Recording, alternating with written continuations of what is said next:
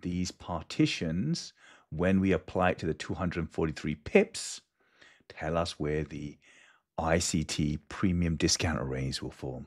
Okay, so between 0 and 3%, we'll have the order block. Between 11 and 17%, we'll have the fair value gap, liquidity void, breaker, equilibrium, and so on. Do you understand how it all fits together now?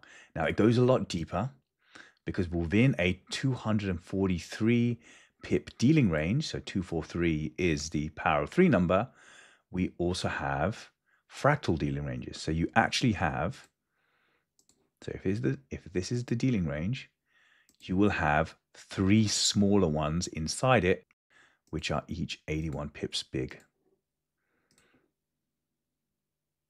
There's one. Okay, and then I'll show you the shifts. So if you want to shift it down and see what the dealing range is below, when we're looking at the 81, you would use this function, shift dealing range down one. There's the second dealing range. And then there's the third dealing range.